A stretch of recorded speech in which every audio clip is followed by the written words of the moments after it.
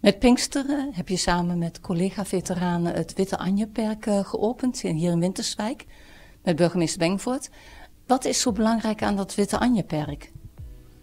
Ja, uh, voor de veteranen. De, de, veteranen die uitgezonden zijn, die heel, veel dingen mee hebben gemaakt. Die het goed gedaan hebben, minder goed.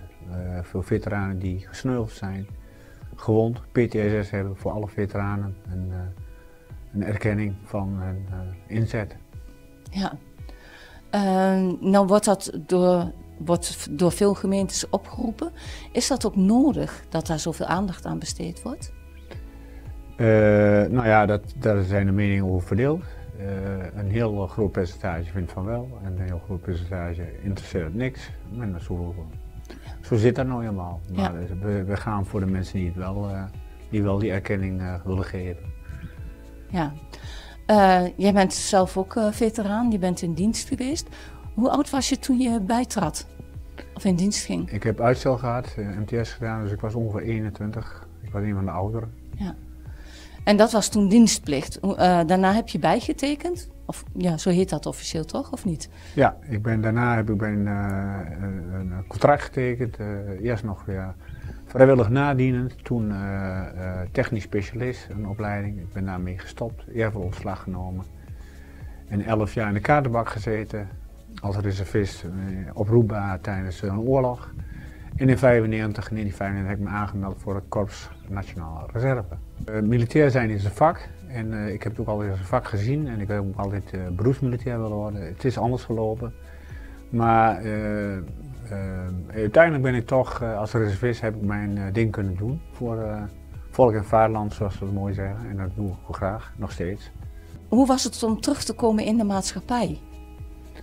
Ja, je hebt het altijd over acclimatiseren, hoor je veel. Nou, dat klopt. Ik heb een jaar moeten acclimatiseren, dat mensen zich druk maken over een buitenspel bij, bij, de, bij het voetbal, waar ik denk, waar gaat het om? Ja. En dat is wel even wennen. En dan vragen ze je of je mensen hebt doorgeschoten en daar kon ik eigenlijk niet echt op antwoorden. Ik heb geen schot gelost zelfs. Dus ik heb uh, veel gedeescaleerd. Dus wij hebben het goed gedaan en ja, dat vinden mensen blijkbaar niet zo interessant. Wat, ik van, wat mij opvalt, we hebben uh, alle militairen van 1956 tot 1988 die uh, vredeshandhavende missies hebben uitgevoerd. Die hebben allemaal de Nobelprijs van de Vrede ontvangen, ik ook. En nou heeft niemand het over. Nee. Niemand weet in Libanon dat het goed gegaan is, behoorlijk goed. En dat vind ik jammer. Wat zou je mensen willen, of vooral jonge mensen willen zeggen, die, uh, die graag in, in dienst willen treden? Nou, ten eerste gewoon doen. Maar ik zou uh, ik kiezen voor een uh, algemene militaire opleiding voor alle pubers, vanaf 15 jaar zo ongeveer. Drie weken lang met, met, met z'n allen in, in het bos, in een tentje, overleven. En dan daarna, en noemen ze ook wel zeg maar, sociale werkplicht of weet ik veel hoe het heet. Dat ze leren en dan kunnen ze daarna bijvoorbeeld in een bejaardenhuis te werken of in de horeca. En dan uh, dingen, want ik zie op school dingen dat ik denk van ja, ze zitten te vechten om een krulletje zijn te beroeren voor wat van anderen te doen. En dat uh, mis ik in onze maatschappij. Maar eerst leren wat voor elkaar over hebben zonder tegenprestatie.